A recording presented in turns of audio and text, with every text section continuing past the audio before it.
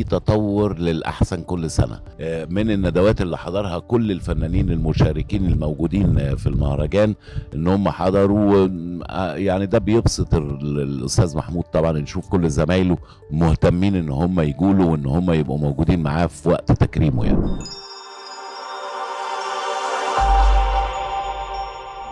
بحضرتك معانا في حضرتك عن حضورك المهرجان في دورته وإيه المختلف حضرتك شايفه؟ المختلف السنة دي في مهرجان الجونه إن في تطور للأحسن كل سنة.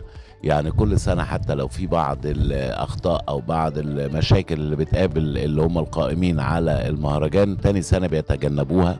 وبالتالي آه، بنشوف تطور للأحسن بنشوف أفلام أكتر بنشوف ندوات أكتر بنشوف الناس المستفيدين من مهنة السينما أو مهنة صناعة السينما آه، بيتقابلوا مع بعض بيقدموا مشاريع. المشاريع دي بيبقى فيها دعم من بعض الشركات فده في حد ذاته طبعا آه، حاجة بتسعد كل صناع السينما.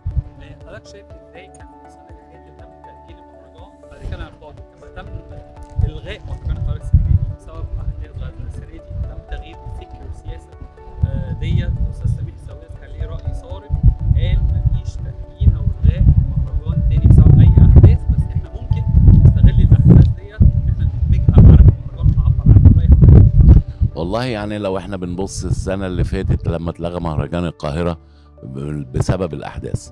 الأحداث ما زالت مستمرة. ما- المهر وزادت أكتر. آه، فإحنا لو تتخيل المهرجان هيفيد إن الأحداث تنتهي أو إن كل الناس ما يروحوش شغلهم والأحداث تنتهي أكيد محدش هيتأخر. لكن الحياة مستمرة. الأحداث مستمرة والحياة مستمرة. يمكن المهنة دي بس أو المهرجان اللي هي مرتبطة بالمهرجان هي اللي كان عليها العين شوية. لكن طبعا كل المهن الأخرى كانت مستمرة. يعني كل ال- الصناع في أي مجال آخر بيشتغلوا. يعني إذا كان العمارات بتتبني الشوارع بتترصف ال- ال- ال- التجار بيتاجروا الاستيراد بيستمر التصدير بيستمر الزراعة بتستمر كله كله كله بيستمر. ما عدا السينما. على أساس عيب إن إحنا نعمل سينما عشان الأحداث بالعكس أنت السينما نفسها هي بتعبر عن الواقع الموجود وكم من أفلام ناقشت الأحداث ربما تكون مؤثرة.